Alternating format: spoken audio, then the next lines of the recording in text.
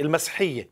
هي الديانة الوحيدة التي تعلم أن الخلاص هو عطية طبعا مجانية. من فضلك ركز على الكلام. الخلاص هو عطية مجانية من خلال نعمة الله. الله حب الإنسان أنعم على الإنسان. بينما كل الأديان يعني إذا إذا درسنا العهد القديم مثلا يعني كل الأديان بتحاول عن طريق التقوى وعن طريق البر الذاتي وعن طريق الأعمال وعن طريق الناموس وعن طريق الشرائع.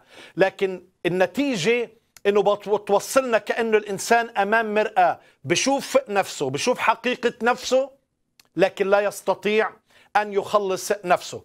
فالمسيحية هي الديانة الوحيديه الوحيدة اللي الله أخذ زمام زمام المبادرة. يعني لما أخطأ آدم وحواء الرب أخذ زمام المبادرة وألبسهما أقمصة من جلد يعني كان في ذبيحة حيوانية. ولما عجز الإنسان فعلا عن تخليص نفسه ليه؟ لأنه مطلب الله عظيم. يعني اشعياء بيقول جميع أعمال برنا كخرقه نجسه يعني حتى الأعمال البر اللي بنعملها في نظر الله نجسة أمامه.